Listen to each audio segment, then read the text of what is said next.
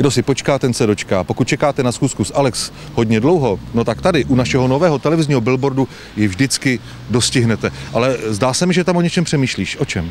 Je to pravda, Richarde. Přemýšlela jsem o tom, koho si pozvu jako dalšího hosta do svého pořadu. No a už jsem to vymyslela. Pozvala jsem si tam totiž majitelku obchodu Grund, paní Ivetu Churavou. No a o tom, že v jejím obchodu je opravdu všechno Grund, všechno zdravé, všechno v nejvyšší kvalitě, se dozvíte v mém pořadu, tak se nezapomeňte koukat dnes v premiéře.